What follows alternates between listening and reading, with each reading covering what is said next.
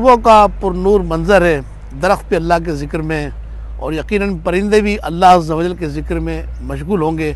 और इस नूरानी मौसम में आपको इल्म का एक नूर पेश करता हूँ।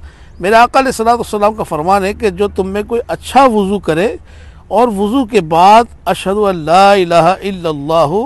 व अशद अन्ना महमदन अब्दू व रसूल कहे, इसके लिए जन्नत के आठों दरवाजे खोल दिए जाएँगे, जिसमें से वो दाखिल हो। सुहान अल्लाह तो जब हम वज़ू के बाद जो है वो अगर दूसरा कलमा पढ़ते हैं तो जन्नत के आठों दरवाजे खुल जाते हैं। लेकिन आवाम में क्या है कि आवाम आसमान की तरफ़ देख के पढ़ते हैं बाज़ जो है वो जनाब उंगली उठा के आसमान की तरफ़ देख के पढ़ते हैं तो इसकी कोई असल नहीं है, सिर्फ़ कलमा पढ़ लीजिए इन करीब जन्नत के आठों दरवाजे खुल जाएँगे, नेकी की दावत आम करते रहिए, मदनी चैनल देखते रहिए।